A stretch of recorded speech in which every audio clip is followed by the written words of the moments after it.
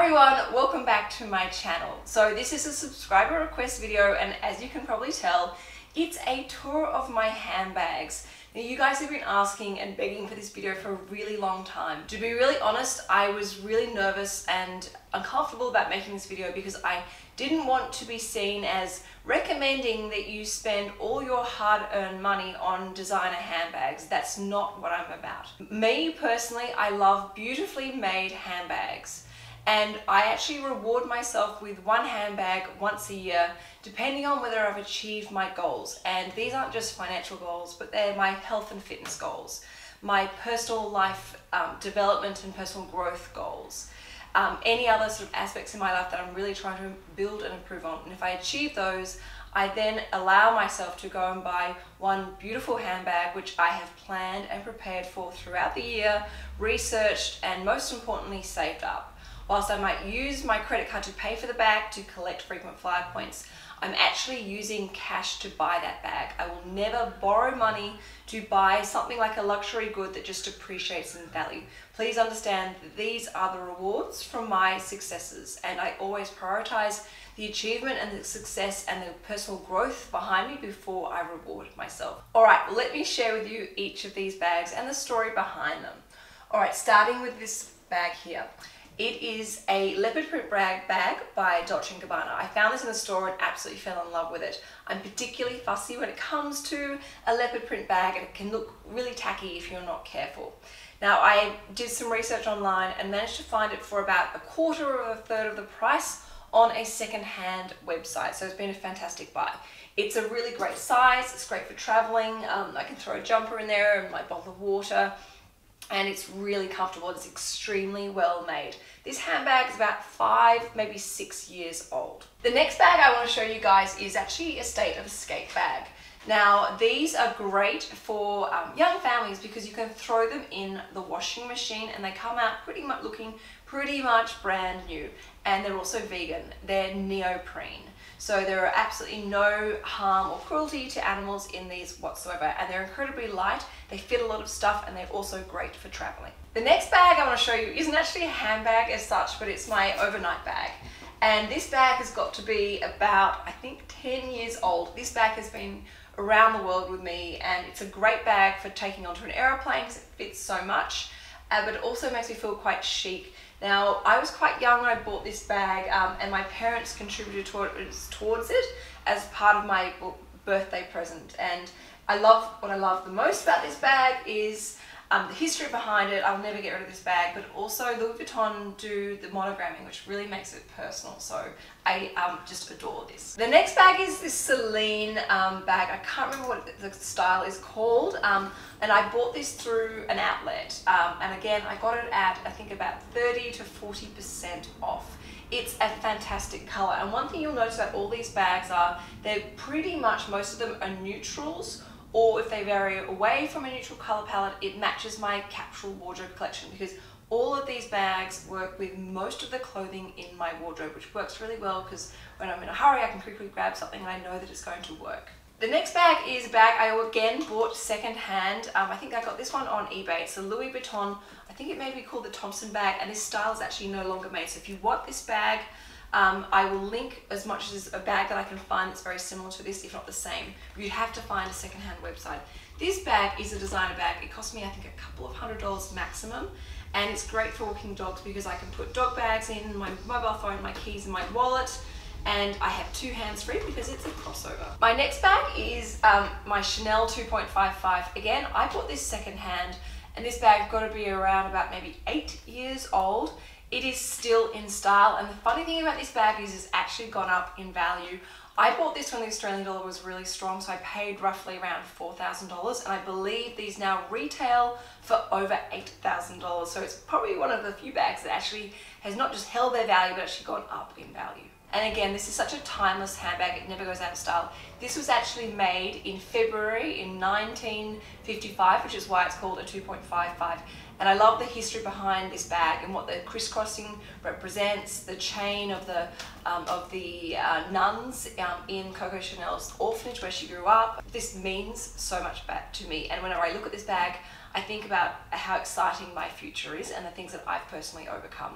The next two bags I actually pretty much bought simultaneously. I was going in to buy one bag and I ended up walking out with two. Again, I paid for these in cash, but I saw a very rare opportunity to buy something I knew it would be really hard to find on the secondhand market.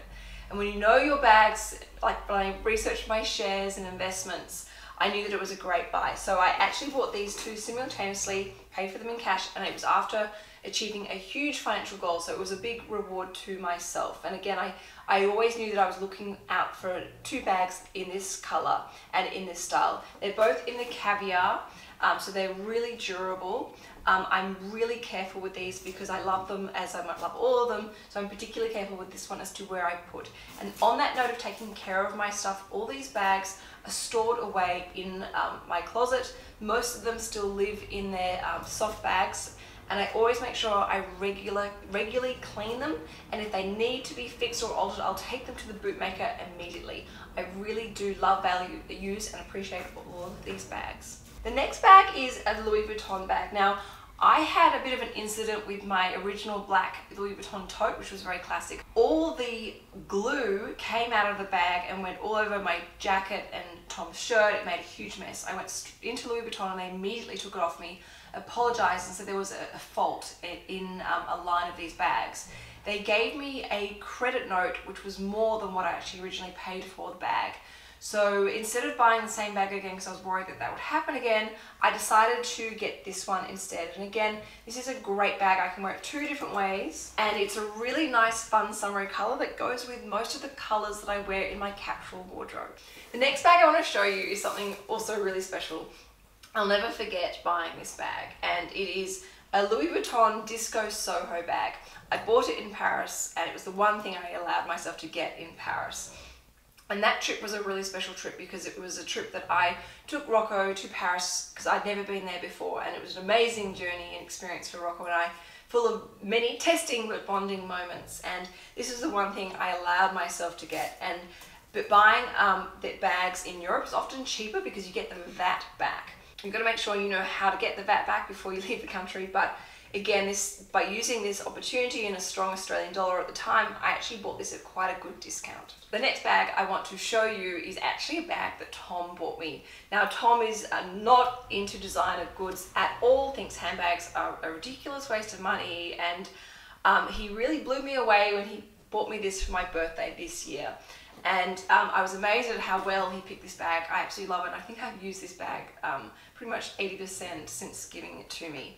Um, it's navy blue. I absolutely love wearing navy blue. Again, it's got two straps, so I can carry Rocco and have two hands free, or I can just unclip it and hold it like a tote like this. It's got zip locks in here so I can keep the sections things zipped away safely and again it's just really classic and I wear a lot of navy blue so this really works for me but I yeah absolutely adore this so thank you Tom. The next bag I want to show you is a bag I actually got in Lebanon in Beirut.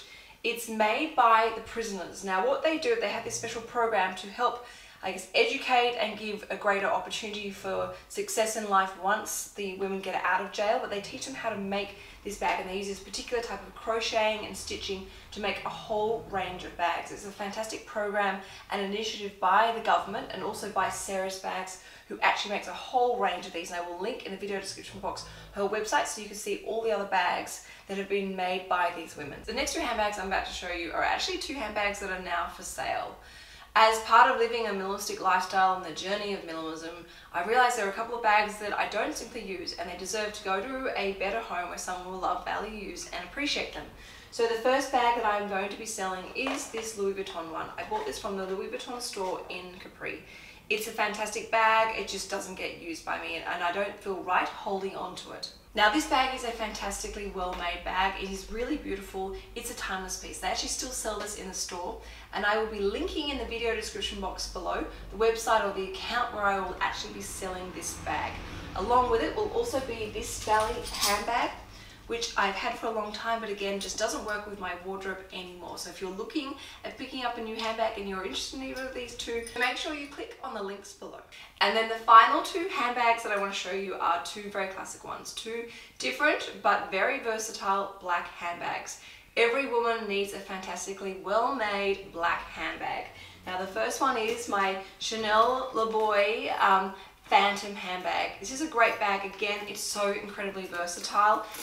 I can wear it as a crossover, over my shoulder, or I can double up the chain and put it over my shoulder. I absolutely love this. It's in a fantastic size. Great for going out or just simply out and about during the day. Love this one. And then the final one is my Givenchy Nightingale. Now this handbag probably is about maybe eight or nine years old. It took forever to save up for this bag at the time, but it's just a really great casual bag. It's quite slouchy, which is very different from my normal structured handbags. Again, really versatile with two different straps, which I can unclip at any time. Great size, and considering it's leather and there's a lot of hardware, it's actually quite light. But again, I love this bag. I would never get rid of it. It just works with everything that I need and want. Now, before I end this video, I want to remind you that I've already made you that wardrobe tour video that you also requested for so long. So make sure you click on the card above here so you can watch that video as soon as you finish this one. And I also want to reinforce that I do not recommend you spend all your hard-earned money on handbags Make sure you buy what you love, value, use, and appreciate, but take a balanced approach. Make sure you have prioritized getting out of debt, staying out of debt, having emergency money, investing, putting some money away for your retirement, either through super, your New Zealand super, or your 401k plan. But make sure you prioritize your financial health before you reward yourself with these types of luxuries. And make sure you do your research, take care of these things.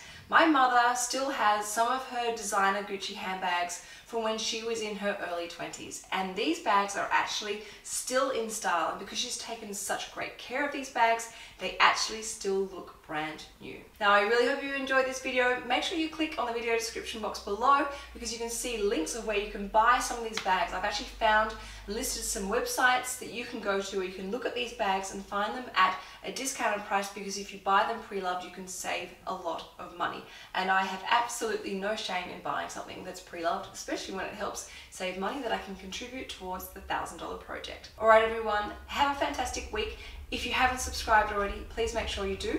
And make sure that notification button is switched on because I have the shoe tour coming up next. Ciao for now.